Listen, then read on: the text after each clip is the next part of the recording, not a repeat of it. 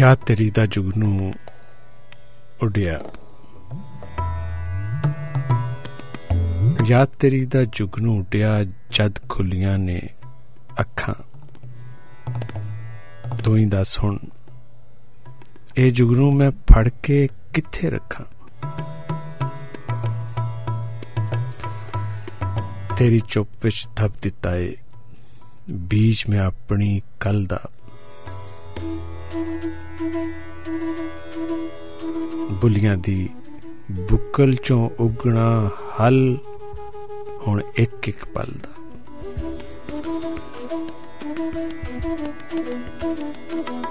ਇੱਕੋ ਪਲ ਭੁਲੇਖਾ ਬਣ ਕੇ ਬਹਿ ਗਿਆ ਮੇਰੇ ਕੋਲ। ਤੈਨੂੰ ਕਿਹੜਾ ਫੜ ਕੇ ਤੇਰੇ ਵਿੱਚੋਂ ਦੇਵੇ ਡੋਲ?